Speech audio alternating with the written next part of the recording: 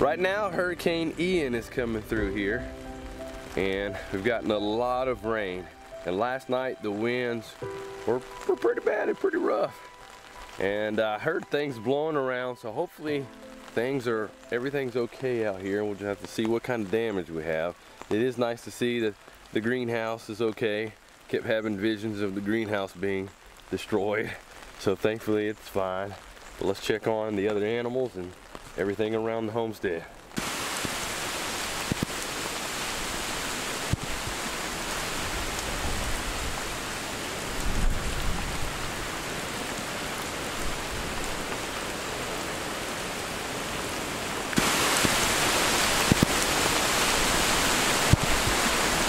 Looks like our egg laying flock of chickens are looking good here and everyone's doing well. then we got our Delawares. They're just hanging out in the rain. But those others over there are taking shelter under the chickshaw. I'd be like those staying out of the rain. Oh, and then right here we got messy hair, I don't care. that rain is messing up your perm. Look at those feathers, they're wet. Glad everyone's doing well over here. And then over there, our goats. Everyone's looking fine over there too. Taking cover in their shelter out of the rain. And the shelter looks good, no damage there. Happy to see that. And we'll head on over to our turkeys over here. They look good, Micah. They just need to be moved.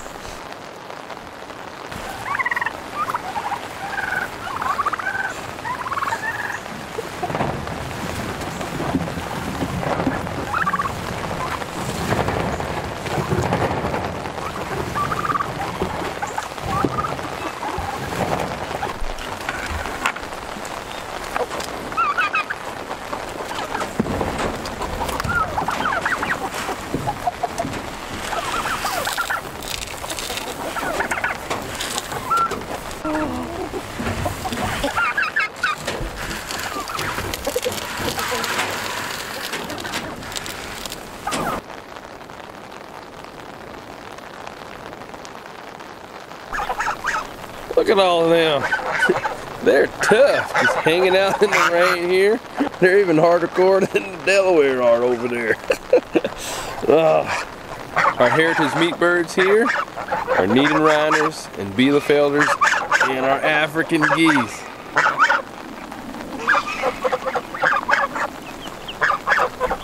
The rain is not bothering them at all. Uh oh what do we have down here by the ducks?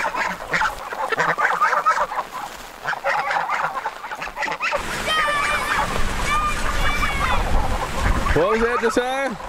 There's a dead guinea Where at? right here. Oh, I see it. What in the world? Oh, man. That's crazy. Man.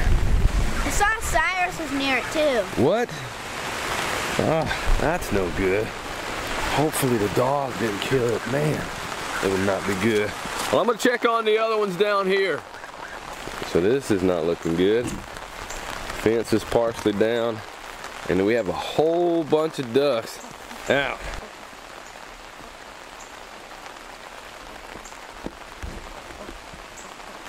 And this is the area where I thought I heard some commotion last night.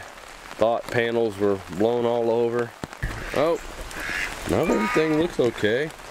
Hey, Sailor, Yeah? Sire, how things going over here? Well, the fence was knocked down and the ducks got out. So I'm pretty sure something from in the fence could have scared them and they trampled over the fence. Was what, that's what it looks like. I think maybe the, the weather last night could have scared them too, with all the wind. Are we missing any animals? We uh, there's one dead guinea and two are missing. Oh man, that's not good. So how many guineas do we have left? Eight. How many did we start with in here? Twelve. Oh man.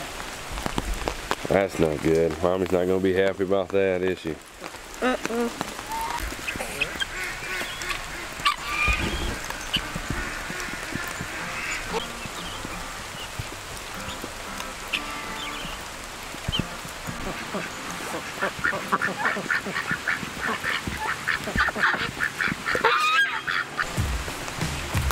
It blew off here.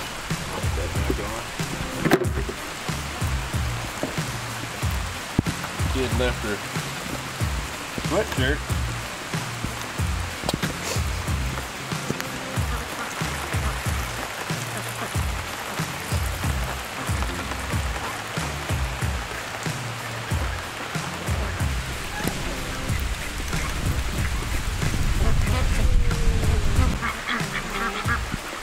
Oh no, that looks like part of a guinea right there. That's not good.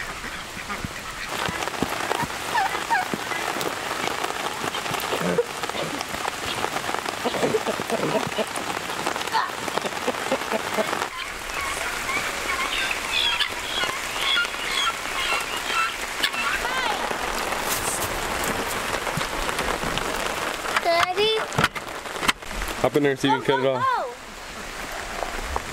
Keep going to the fence. Don't walk on the lawn, walk on the ground. Yeah, it's in there with these chickens. If you decide, squat down. You got it. Come on. It's you, buddy. You got it.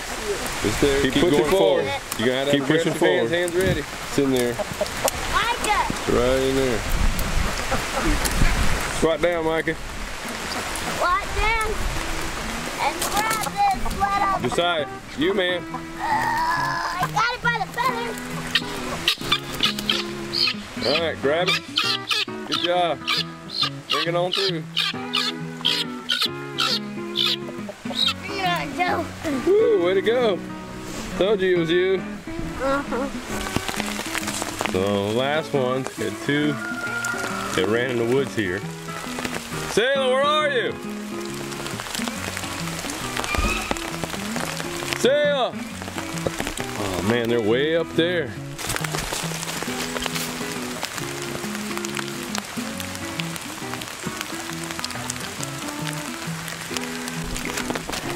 Man, look at all that mud there. A lot of rain coming through.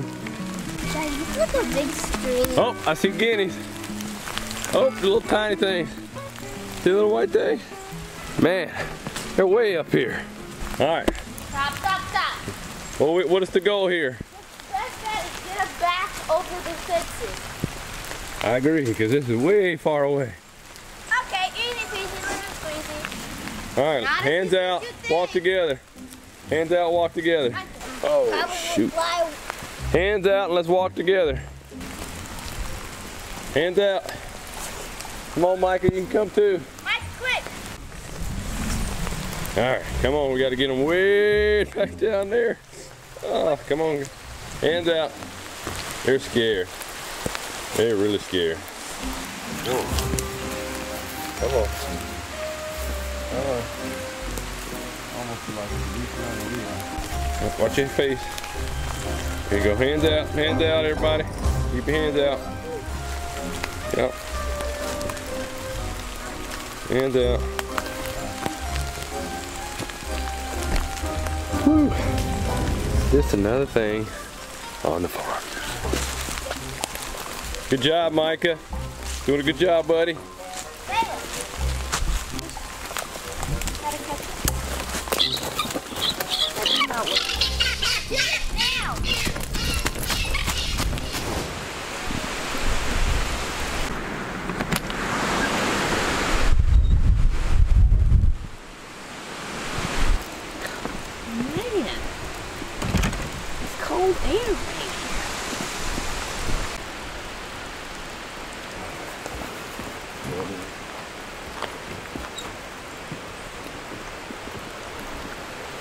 So as the wind and rain continued from the hurricane, things were a lot more cozy on the inside.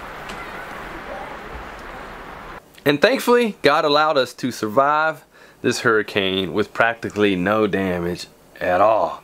So that's a nice blessing to have. It sure is. Going through a hurricane in a yurt is a slightly different experience, probably than most traditional houses, because you do hear the wind more, you do hear the rain more. You And- feel a lot more vulnerable to the elements, we shall say. But we've never encountered a problem. Like wind has never been a problem, but you know, whenever it's going over your roof and your roof is going it makes you feel like, oh no. But we've never ran into a problem. And with the yurt being circular, a lot of people don't realize that that makes it more aerodynamic for the wind to go around and away from. It's not like it's hitting something flat. It does have a curvature to go around and it, it does make it more suitable for being in a storm compared to something like a trailer. And believe it or not, that was not our first experience going through a hurricane. I can still remember the first hurricane that we went through living here in a yurt. It was a lot of wind and a lot of rain. I mean, a lot of rain. It was flooding all over the place. I think it was something like we we it was either somewhere between 8 to 12 inches of rain within like 2 days. The pond was so it had to have been at least six feet up the bank of where it normally is and that's with it overflowing like all the time i've never seen the pond that high it's crazy and just a number of days prior to that hurricane and finding out that a hurricane was coming, we just had moved this Harbor Freight greenhouse into this new area. And we were getting ready to start setting it up, but we found out that a hurricane was coming through. And we were more concerned about us going through the hurricane in our yurt and, and the, having the animals than we were with the greenhouse. And thankfully we were fine in the yurt. But through that hurricane, well, let's just say that Harbor Freight greenhouse, it didn't make it. The hurricane just destroyed it and it was, man, it was just trash after that. You heard the wind like pick it up and set it down and it pretty much collapsed on itself. Yeah, yeah, you could hear it just in the air and then crash and you're like, I know what that was. Yeah. Not too long after that, we were able to upgrade to a caterpillar tunnel where we were able to grow all of our different plant starts for our market garden. And things were looking good until. Wow, this is absolutely ridiculous. Ridiculously crazy. I don't even know what to say right now. At least some of it's been. Hopefully I can fix it. But wow. I knew last night when I heard this just freak wind come through and then I heard a boom. Something wasn't right. Storm was just crazy, lightning. Uh, thankfully it looks like this is the only thing that was damaged. Everything was fine, no damage to the yurt at all. And we've been through a number of different storms here. We have a lot of gusts of wind that happen from time to time, multiple times a year I would say. And it's not uncommon for us to have 50 mile an hour winds. And I even have heard that we've had 85 miles per hour. I don't know how true that is, but I have heard that that has happened here. So it's definitely not uncommon for us to go through some of those things here while living in a yurt. Now I'm not saying that I want to be in a category four or five hurricane living in yurt. I don't want to be living in anything going through that. I don't want to be far away from those areas when a tornado or a category five, four or five hurricanes coming through. I don't want to be near those areas at all. And when people hear that, you know, there's a hurricane coming for the Carolinas and they think about us, you know, we actually live about four hours from the coast. So we're more further inland. So we don't necessarily get like the really, really high winds that are associated with hurricanes, but we normally get a lot of rain and around here that causes flooding and the ground saturated. And even the winds that are like 40 miles to 60 70 miles an hour winds they knock down a lot of trees. And that is what causes the most damage around here and the, the flooding and people getting you know stuck in different situations so um, that's what really happens around here with hurricanes. So we've been okay living in a yurt for those of you who worry about us in a yurt when you hear about a hurricane coming to the Carolinas. Now, I'm also not saying that you should put a yurt on the beach or something like that. I'm not saying that at all. Unless you're prepared to take it down and move it whenever yeah. a hurricane's coming. So I'm not saying that you can survive that at all, so keep that in mind. I'm not doing it and I'm not encouraging anybody else to do it. But through our experiences living in a yurt, going through hurricanes and heavy, severe thunderstorms. Our biggest problem has actually been things on the outside with our animals. It has been a lot rougher on them. And speaking of them, you're probably wondering about those guineas that we were dealing with earlier. Well, we were able to retrieve all but one of them. That white one, it got away and ran into the woods somewhere, and man, it had a day, let me tell you. Well, this part didn't get recorded, but Josiah said, Hey, Mom, the guinea's down there by the pond. So I said, Well, come on, let's go get it. So Josiah and I went down there to the pond and we were trying to get it close to the fence, to run it into the fence, to put it in the fence. And I get down there and it gets close to the edge of the pond and I get close to it and it jumps in the pond. I'm like, I didn't know guineas swam, but you did, now, now you know guineas can swim. Man, that would have been great to see on videos. She just grabbed his camera and said, Look at this guinea swimming in the pond. Well, it's- so it's cold outside. The guinea's swimming in the pond, and then I'm looking for it, and then I don't see it, and I'm thinking, has the thing drowned? Did it just go under? And I don't know where it is. Poor guinea had a rough day. And day. it's pouring down rain, and I said, Josiah, let's go back inside, and it'll be fine. It'll be whatever happens, happens. So we come back inside. I get back to work, and a little while later, Josiah comes in holding this guinea that's just soaking wet. Whoa. What you got there? Little friend. You found it. You were able to get it from the woods? Yep. Oh man, great job. Wow, it's all wet, big time. Probably scared too. Been Yeah. dried off. Mhm. Alright. And when they talk about drying this guinea off, what they both really mean is here, take it to your mama and let her do it. You should remember this. We spent a lot of time doing this.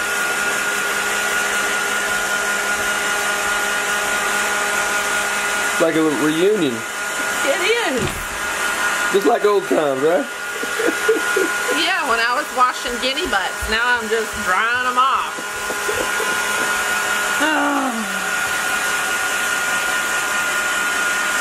Poor thing has been traumatized. I think it likes it. It's probably bringing back memories of when it had Pinky Butt and you were blowing it off, blow Well, drying look, it it's off holding after its washing wing it. out so I can, the air can get in there. It's like Guinea Spa Day.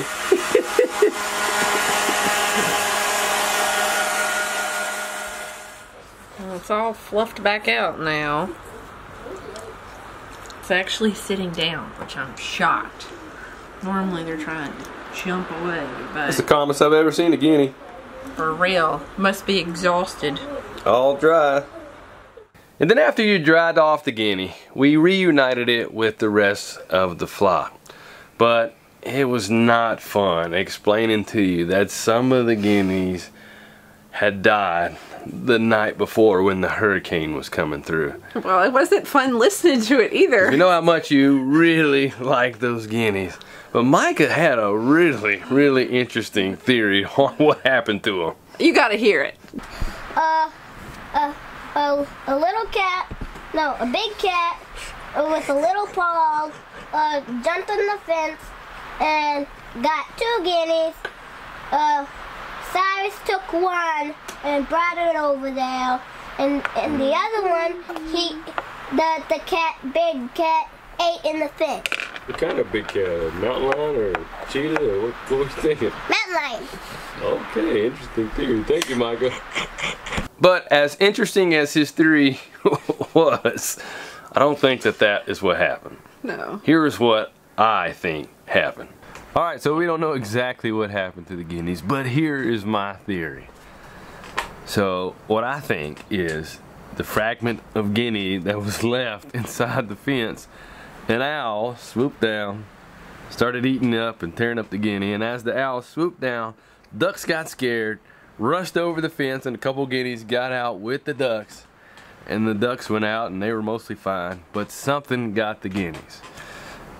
Uh, I think it could have been one of our dogs, or it could have been something else like a raccoon. But looks like it could have been the dog because Josiah said that he saw the dog eating on some of the guinea. Now, Mike's rendition of what happened is probably more plausible than a mountain lion. so we're gonna go with that. And I think probably the best thing to do is to get some kind of video security camera system to be able to monitor and see what actually is happening out there. Because we also lost a duck not too long ago Yeah. from a similar type of thing. It looked similar to the guinea that was missing parts. Yeah.